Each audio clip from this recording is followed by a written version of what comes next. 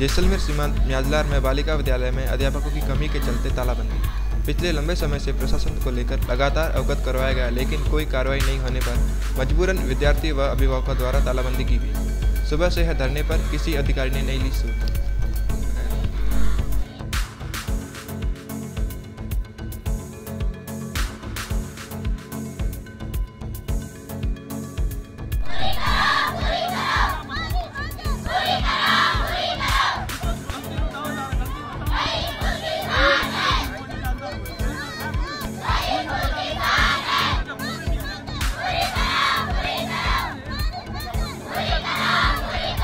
मांग यही है कि टीचर लगाओ।